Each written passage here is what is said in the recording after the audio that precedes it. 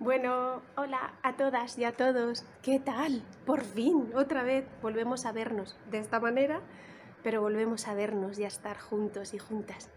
Tenía muchas ganas de arrancar este curso porque la verdad que yo creo que son unas circunstancias tan especiales para todas y para todos que cuanto antes lleguemos a, a un estado de normalización total, pues será lo mejor, ¿no? Pero mientras tanto, pues tenemos que ir encajando ahí las piezas, ¿no?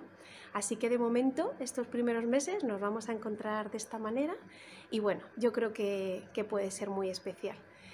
Eh, vamos a orientar un poco las sesiones a un formato en el que yo os voy a mandar unos pequeños vídeos de 10 minutos, 15, 7, lo que se precie para cada sesión. Luego eh, os lo pondrán y vosotros y vosotras empezaréis a hacer el trabajo de, creación, el proceso creativo, ¿vale? Vuestra profe en este caso, vuestro profe va a tomar imágenes o pequeños vídeos que después me los hará llegar y yo también con las mismas os daré una devolución porque para mí lo que se trata, aunque no podamos estar físicamente unidos y unidas, es que este tipo de creación y de forma de abordar el proceso pues que sea dinámica y que esté viva, ¿no? Y yo creo que eso se puede conseguir de muchas maneras.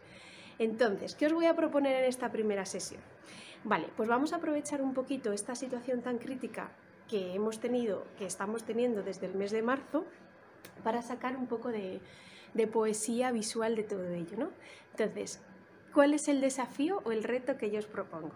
Es que salgáis a vuestro patio, a la parte de, bueno, pues de espacio abierto que tenéis y que busquéis las grietas de ese cemento.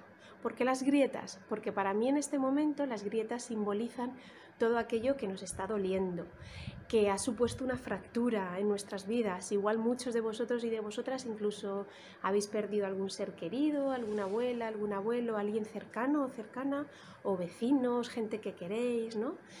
Las grietas también porque de alguna manera el hecho de no poder tocarnos, besarnos, abrazarnos, estar más cerca, que se nos vean las caras, ¿no?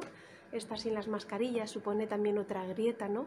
Emocional, visual, son muchas cosas, ¿no?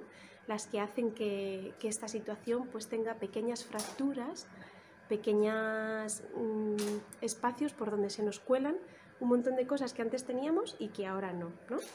Entonces, ¿de qué manera lo vamos a hacer? Vale, vais a buscar esas grietas de fuera, ¿no? Y eh, os van a dar unas tizas de colores. En vez de rellenar las grietas, que podría ser otra manera muy bonita de hacerlo para que cobraran color, por ejemplo, se podría hacer con líquido, eh, con leche, con, no sé, algún zumo claro, naranja o así, nosotros vamos a utilizar tizas de colores y en vez de rellenarlas por dentro lo que vamos a hacer va a ser dibujar los surcos de esas grietas por fuera, ¿vale? De tal forma que hagamos que eso a lo que antes no poníamos atención, primeramente le estamos ya prestando eh, un punto de, pues eso, de atención directa y después lo vamos a convertir algo que aparentemente es feo, es desagradable, pues lo vamos a convertir en algo que es bonito. Pero aún más, la propuesta continúa y es que tenéis que buscar elementos naturales que tenéis cerca en el entorno o en, vuestro propio patio eh, o bien en, las zonas cercanas si podéis salir un poquito eh, con ayuda de, de vuestra profe o vuestro profe y, que busquéis elementos naturales. Yo os voy a enseñar algunos de los que yo he buscado aquí cerquita de mi casa, ¿vale? Para que veáis, son palos, piedras, hojas, algunas semillas y bueno, así similar, ¿vale? Os los voy a mostrar. Mirad, ¿veis aquí? Tenemos hojas, tenemos piedras, tenemos otro tipo de hojas también, semillas al fondo y los palos, ¿veis? Y aquí mi caja con las tizas de colores. ¿Sí? Pues ahora vamos a ver. Yo os voy a mostrar eh, el suelo de, casa esta vez, ¿vale? Dijéramos que este es el suelo, el patio de mi casa. Y eh, voy a utilizar las rayas de, de, la terraza, ¿sí? A ver, que veáis mi manita. Como imaginando que pudieran ser estas grietas, ¿vale? Porque aquí, claro, en este suelo yo ahora mismo no tengo grietas, ¿no? Pero... Mm, creo recordar que en el patio de vuestro cole sí que había, ¿no? Entonces voy a hacer un pequeño dibujo de, de cómo sería adornar estas grietas con dichas tizas, ¿vale? Vale, si veis, acabo de dibujar no solo eh, las líneas rectas que hacen la forma de los cuadrados de las baldosas, sino que también he aprovechado, imaginando que pudieran ser grietas, las propias rayas de la textura de cada una de esas baldosas y de esta manera, ¿veis? Lo he pintado de diferentes colores con tiza, ¿sí? Ahora vamos a hacer lo siguiente, va a ser adornar cada una de estas grietas con elementos naturales para darle todavía como ese paso de un estado de algo inerte a algo que está vivo. Mirad, lo que he hecho ahora ha sido añadir estos elementos naturales a cada una de las grietas que yo había dibujado. Para mí es muy interesante dejar el color de las grietas en sí, ¿vale? Porque yo creo que así hace una suma del elemento artificial, en este caso que es la tiza, con los elementos naturales. ¿Veis? Aquí tenemos las vainas de semillas, que también se pueden abrir y aprovechar las semillas en chiquitito.